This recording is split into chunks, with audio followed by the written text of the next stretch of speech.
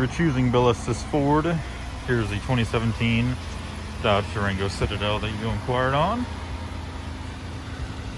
Just have remote start. Back tailgate opens up with the push of the button. Got leather, this is fully loaded. Adaptive cruise control, all your plugins, navigation.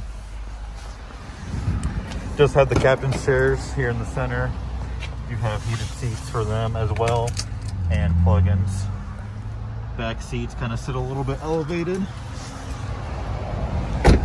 And they do fold down if you do need that extra storage in a nice 50-50 split. More storage under here. Sorry if it's kind of hard to see. Side steps, blind spot monitors. And yeah, this was the 2017 Dodge Durango Citadel.